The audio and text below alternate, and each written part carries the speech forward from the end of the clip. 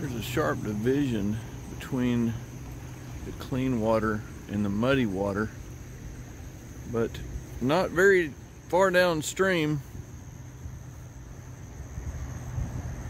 It's all muddy.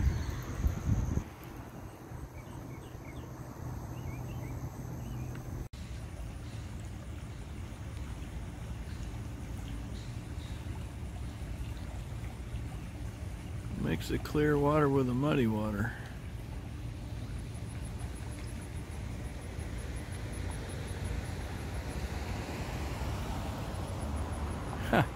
Amazingly, that kind of remains separate for quite quite a while, doesn't it? And then it changes over to completely muddy down in that direction, doesn't it?